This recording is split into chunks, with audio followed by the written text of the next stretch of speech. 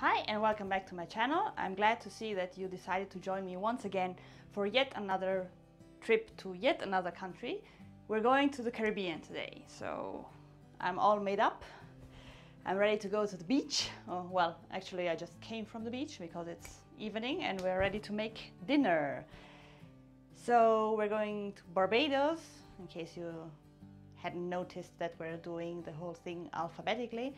And to those of you who asked me to uh, make certain dishes, I wrote them down, but I'll probably make them either after I finish this, which will take me probably forever, or if I have time to make maybe two videos a week. I don't know at the moment, it's a bit difficult because there's a lot going on, but my plan is to follow your advice and try to make the dishes that you're telling me to do.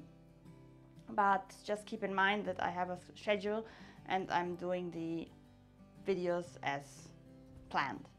So back to our recipe today. We're making cou cou with flying fish. Obviously, um, I'm not at Barbados in the moment and in Madrid the amount of flying fish is a bit scarce, so all I could find is, was sardines, which will do I suppose. They don't fly, but hey, they are still silvery. And yeah, let's get to it. So today's dish is built by two separate plates. For once we have the fish with the gravy and on the other side we have the cou cou, which is basically cornmeal. So for the cou cou we need 250 grams of cornmeal, we need 12 okras sliced. Apparently, uh, I don't know what happened, but okra has disappeared from my surroundings. So once again, I'm using zucchini or squash. And uh, then we need salt and oil. That's what all we need for the cou cou. For the gravy and the fish, we will need 300 grams of flying fish or, well, sardines in my case. Oil, once again, salt, pepper, thyme, preferably fresh. Mine is dried from the garden pickled bonnet peppers. I have pickled jalapenos. Uh, remember to use a bit of the liquid. You can also add a bit of vinegar because we need a slight tang in our sauce. Then one can of uh, peeled tomatoes, approximately 8 ounces or 400 grams. One onion, sliced. One clove of garlic, or well, two, but one if you have a ginormous one like me. Uh, green and the red bell pepper also sliced. Sugar, one teaspoon, and some stock. You'll also need water. So let's get cooking. So we take a skillet and we pour in some oil.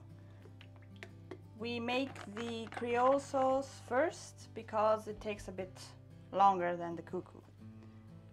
We crush in our garlic, add the onion and the bell pepper.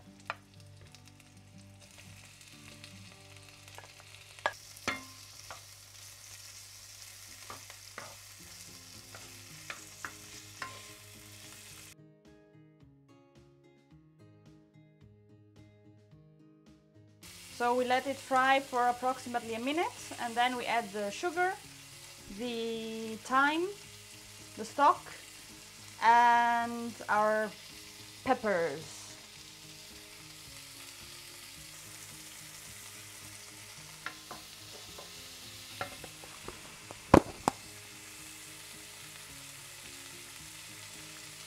Half a cup of water or half a cup of stock.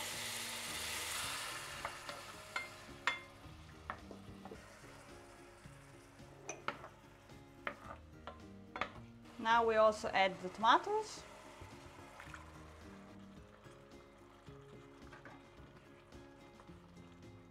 Here I've seen that you can also use fresh tomatoes or cherry tomatoes. I was thinking about that, but since I already had these one open and I didn't want them to go all green and hairy, I decided to use the canned ones.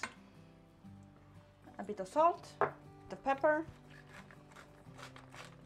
We bring it to a boil and then we reduce the heat to simmer and leave it for about 20 minutes. So 15 minutes have passed, now it's time to add the fish. Now for the fish you have two options. You can either place it into the sauce or you can deep fry it with some batter. I prefer the healthier version and that's why I'm placing it now. We place it and cook it another 10 minutes more or less.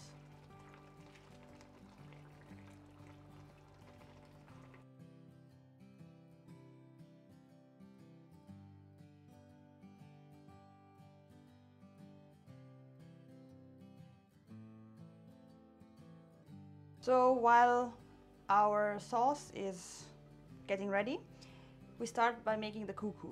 For the cou cou, we take our cornmeal and we cover it with water.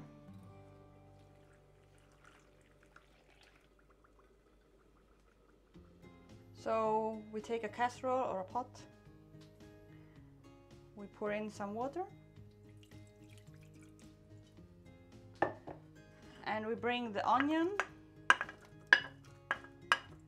and the okra or zucchini in my case to a boil. And once they boil, we remove the water, but we do not throw the water away. We will need that for the cornmeal later. So now that it's boiling, we remove the water, set the vegetables aside and keep the water. So now it's time to add the cornmeal. Here we have our pot here we have our soaked cornmeal. With the water and everything, we place it into the pot. And we use a wooden spoon. And we start stirring it. We also add the water from our vegetables. So in Barbados, this wooden spoon is called a cou cou and hence the name for the dish. So what we have to do now is try to avoid to to see lumps or that the cornmeal forms lumps, we add gradually some water and keep stirring.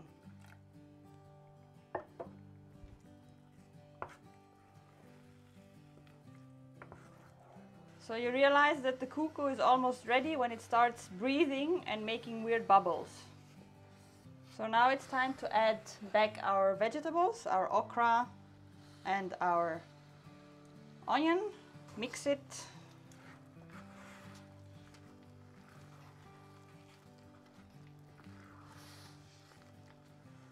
then you can add a drop of butter or a little bit of olive oil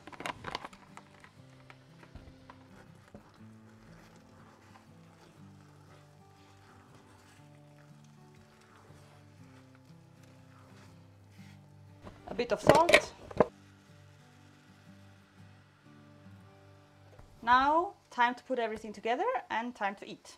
So as you can see, now our fish is done.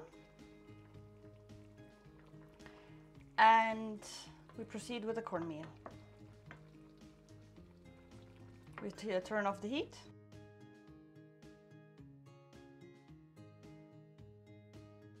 And here we have our finished dish, our flying fish with cou cou. We're ready to eat. I hope you enjoyed this video. I hope you enjoyed this, this recipe and I hope you'll make it at home or not, I don't know. Uh, thanks again so much for watching if you're still there. And I guess I'll see you next week with another country and another dish. If you like this video, give it a thumbs up. If you would like to see more videos like this, uh, subscribe. And don't forget to comment if you have any suggestions or just to engage in a friendly conversation. well, that's it from my side and I'll see you again next week. Bye!